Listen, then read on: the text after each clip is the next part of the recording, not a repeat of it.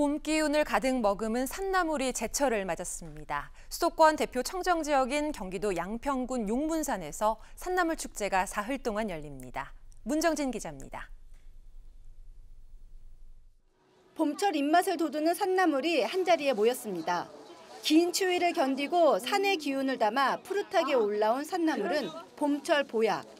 쌉싸름한 맛과 은은한 향이 일품인 곰치부터 취나물, 두릅 등 다양한 제철 먹거리가 가득합니다.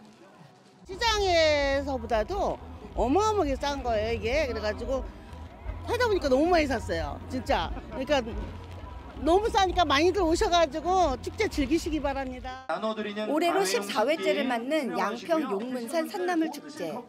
양평의 화합을 상징하는 초대형 500인분 산나물 비빔밥은 관람객들의 입맛을 사로잡습니다.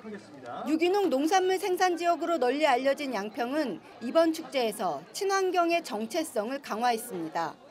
환경 보호를 위해 먹거리 장터에선 다회용 식기를 사용하고 쓰레기 없는 깨끗한 축제를 추구합니다.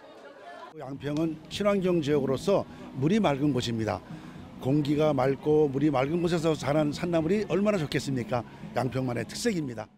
친환경 농업박물관에는 양평 산나물의 맛과 향을 귀여운 캐릭터를 통해 재미있게 구성했고 산나물이 자라나는 과정도 신비롭게 표현해 특별한 경험을 선사합니다. 봄철 입맛도 되찾고 청정 용문산의 정취도 즐길 수 있는 산나물 축제는 오는 28일까지 관람객들을 맞이합니다. OBS 뉴스 문정진입니다.